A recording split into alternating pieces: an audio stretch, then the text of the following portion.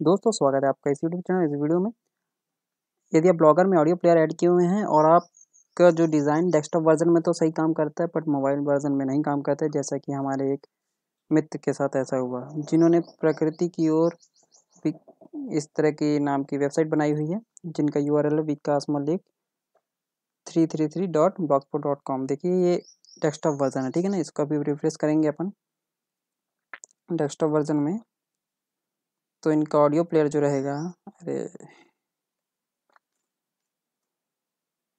Audio player कुछ इस तरह से जैसे डिज़ाइन किए हुए हैं, वैसे दिखाई दे रहा है बॉर्डर चारों तरफ़, ठीक है?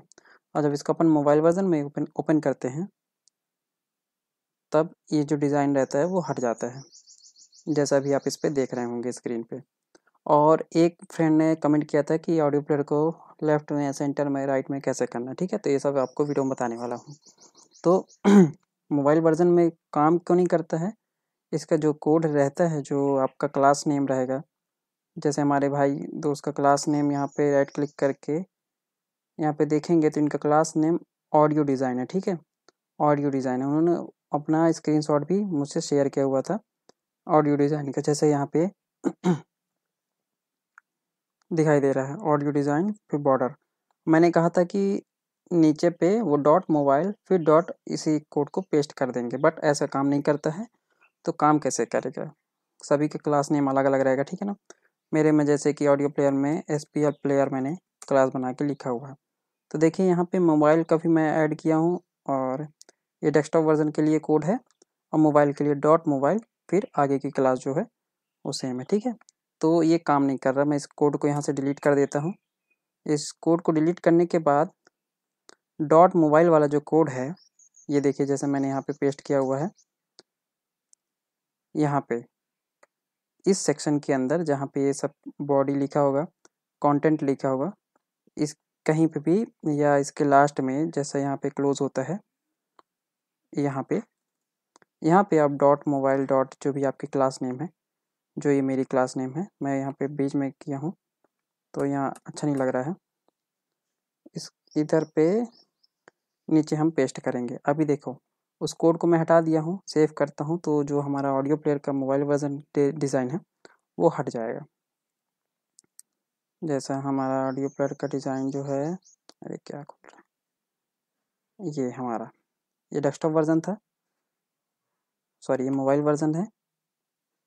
मोबाइल वर्जन में डिज़ाइन दिखाई दे रहा है। अभी हमने कोड वहाँ से रिमूव कर दिया तो देखेंगे, वापस ये सिंपल दिखाई देने लग जाएगा। अरे सिंपल हो जाओ जी। अभी एक क्यों नहीं हो रहा है? सेव तो कर दिया था मैं। सिंपल होगा अभी थोड़ी सी।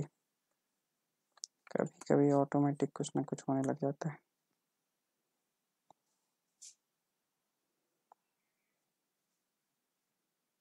पहले इसको डेस्कटॉप वर्जन में ओपन करूँ। डेस्कटॉप वर्जन में सही है, ठीक है? अब इसको मोबाइल वर्जन में अपन ओपन करेंगे। तो यहाँ पे देखिए अभी दिखाने लग गया है बट नहीं दिखा रहा है हमारे मित्र में, मित्र की वेबसाइट में। तो हमको क्या करना है, वहाँ पे पेस्ट करना है।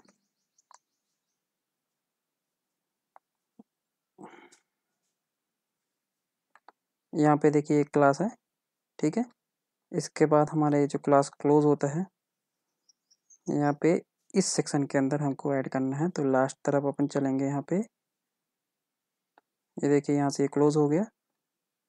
फिर इसके ऊपर अपन को पेस्ट कर देना है कोड अब इसमें जैसे बॉर्डर हमारा ब्लैक है तो अपन इसको ब्लू कर देते हैं। मोबाइल वर्जन में, ठीक है? डेस्कटॉप वर्जन में ब्लैक दिखाई देगा मोबाइल वर्जन में ब्लू दिखाई देगा। अब वापस से हम इसको रिफ्रेश करते हैं पेज को। तो देख सकते हैं, ब्लू दिखाई देने लग गया।